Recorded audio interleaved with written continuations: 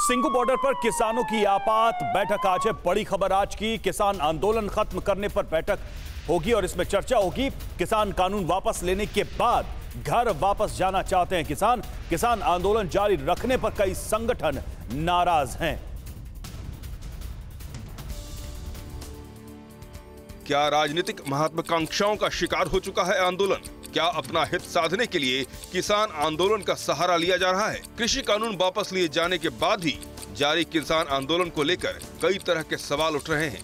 यही वजह है कि आज सिंगू बॉर्डर पर किसानों की एक आपात बैठक बुलाई गई है।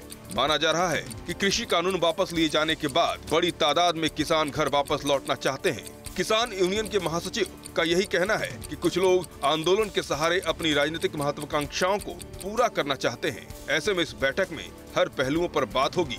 किसानों के बीच सर्वसहमति बनने की स्थिति में किसान आंदोलन खत्म करने का ऐलान हो सकता है।